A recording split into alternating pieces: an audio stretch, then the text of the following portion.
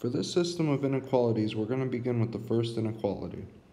To graph that inequality, we need to switch it to an equation and graph the line. To graph a line, you need two points. For convenience, we're going to find the x and y intercept starting with the x-intercept. So we're going to plug 0 in for y. We get x equal to 2, which corresponds to the point 2 comma 0. Now for the y-intercept. Plugging in 0 for x, we get 1 half y equals 4. Multiply both sides by 2 gives us y equals 8, which corresponds to the point 0, 08. Now, we're going to go ahead and graph the line with the two points. It's sol solid because we have the greater than or equal to.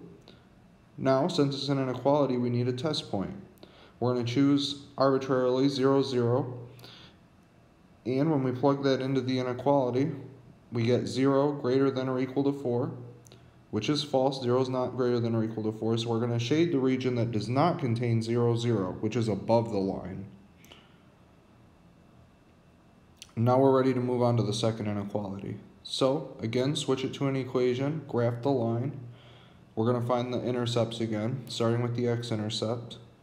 And the first one, we get 2, 0. Now for the y-intercept, plug in 0 for x just gives us y equal to 6, which is the 0.06. Now we can graph. Again, it's going to be a solid line because of the uh, less than or equal to. We're going to use a test point again so we can figure out which region to shade. We're going to use 0, 0 for convenience again. And we plug that in, we get 0 less than or equal to 6, which is true. 0 is less than or equal to 6. So we shade the region with 0, 0, which is below the line using a different color. And now we can see that the overlapping region is the purple region. So that's the one that satisfies those two inequalities. But we have to satisfy all of the inequalities in the system.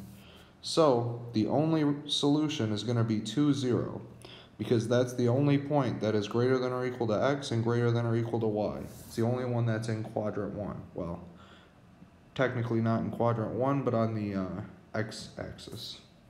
And that's it.